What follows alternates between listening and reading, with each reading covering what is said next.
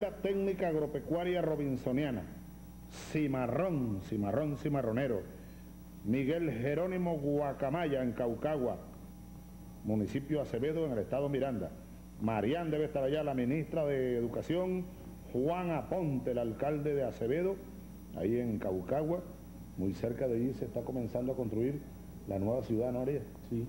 ¿No? Cerquita de ahí. cerquita de ahí, ¿verdad?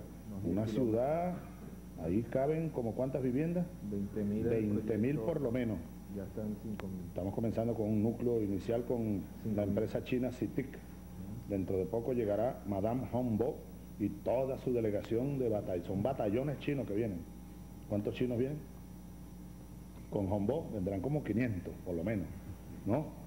Claro, viene CITIC Group, el Banco City, el Banco Agrícola, el ICBC, Banco Industrial y Comercial de China, viene la Comisión de Planificación con el amigo Liu Kegu. Está por llegar tres batallones de chinos, ¿no? Además de los que ya tenemos aquí, bienvenido desde ya. Bueno, eh, Zoraida Aponte, directora de la Escuela Técnica de Guacamaya. Reinaldo Gil, vocero estudiantil de la Escuela Técnica, Richard Matos, vocero del Consejo Comunal Los Zuritas de la parroquia Capaya. Capaya. Ahí es que dicen que nació Bolívar. Dicen que ahí nació Simón Bolívar. Todo el pueblo de Capaya lo dice. Iri, ¿tú no has ido por allá? Anda y pregunta para que tú veas. ¿Dónde nació Bolívar? De los niñitos hasta los viejitos. Aquí en Capaya. Y ellos tienen su argumentación. Capaya. Bueno, Bolívar nació en todas partes y vive en todas partes. ¿eh? Capaya, Richard Mato. Bueno, eh, le doy, le voy a pedir al próximo gobernador del estado Miranda que tome la palabra y le dé el pase a la ministra ya en su estado Miranda. Gobernador. Gracias, presidente. Camarada Marian Hanson, bueno, estás en, el centro de el municipio Acevedo, en Caucagua, en Río Negro exactamente, donde se ha desarrollado esta escuela técnica agroindustrial, que siguiendo las orientaciones del presidente tiene ya una conexión, presidente, esto es lo importante de este proyecto, con el Ministerio de Agricultura y Tierra. ciertamente una de las revisiones que hemos hecho es que las escuelas técnicas no están ligadas a los proyectos que desarrollan los ministerios respectivos en sus competencias, y eso lo hemos venido trabajando desde el compañero Héctor Navarro y lo hemos profundizado ahora con Marián, de que cada escuela técnica se corresponda con los proyectos agrícolas que están en marcha. Y como usted sabe, Barlovento, por orientaciones de usted, se ha convertido en, un, elemento para el desarrollo agrícola y agroindustrial y allí estamos desarrollando las plantaciones de cacao, la producción de leche, la producción de plátano y esta escuela va a venir a formar a los jóvenes que se van a incorporar en todos esos proyectos que están en desarrollo ya en el estado Miranda. Unos ya operativos como la planta de plátano, de chocolate y otros en construcción como es la segunda planta de plátano, la segunda planta de chocolate y también una planta de procesamiento de yuca. Adelante, Mariana.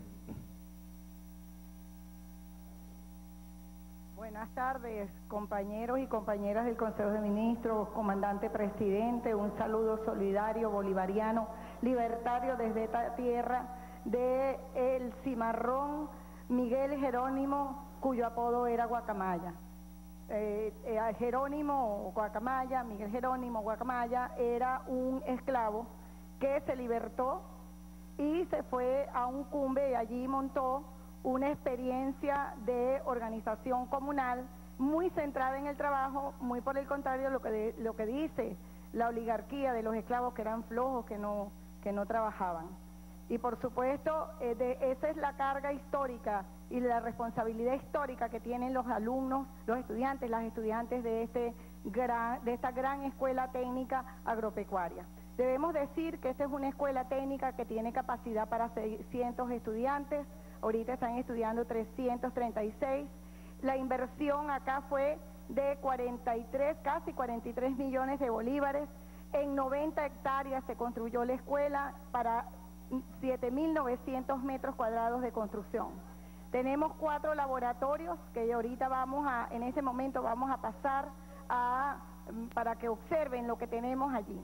Y por supuesto es una gran eh, construcción que se fue concluida en el año 2010 y aquí empezaron las clases en esa fecha y en el 2011, ahora en octubre, se terminaron durante el periodo vacacional los detalles y en el mes de octubre se iniciaron las actividades acá.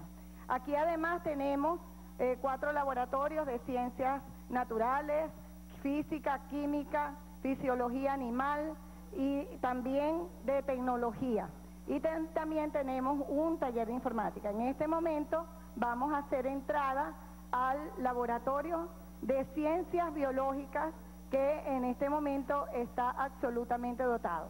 Si quieren compartir y dialogar con los, los compañeros y las compañeras, la profesora Ana está acá y podemos conversar con ellas en este laboratorio de ciencias biológicas para que converse, conversen con estos compañeros que están acá.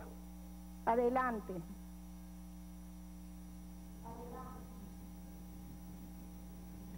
Maravilloso, Marián. Maravilloso. No tengo otra palabra para calificar todo esto. Bueno, esta es una escuela técnica. Recordemos cómo la revolución recibió las escuelas técnicas. ¿Cómo estaban? Prácticamente clausuradas, eso no, prácticamente no existían. ¿No? Y la cerró el doctor Caldera. Claro, la cerró un gobierno del doctor Caldera, cerró las escuelas técnicas. Los liceos los picaron en dos, ¿me acuerdan? Crearon el diversificado, el noveno grado, acabaron, habían acabado con el liceo como institución integrada, integradora, con la escuela técnica. Ah, claro, la derecha. ¿No es? La derecha, porque entonces decían que de ahí los muchachos empezaban a hacerse revoltosos. Y acabaron con las escuelas técnicas.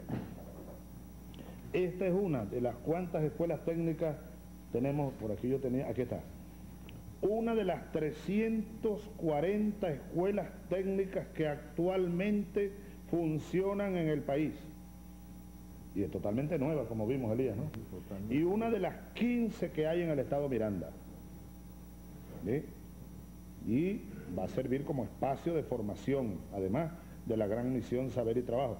Tiene 334 estudiantes actualmente pero la infraestructura tiene capacidad para 600, casi el doble. Es un potencial muy grande. Y habrá que ver incluso, Elías, todo el terreno que la circunda.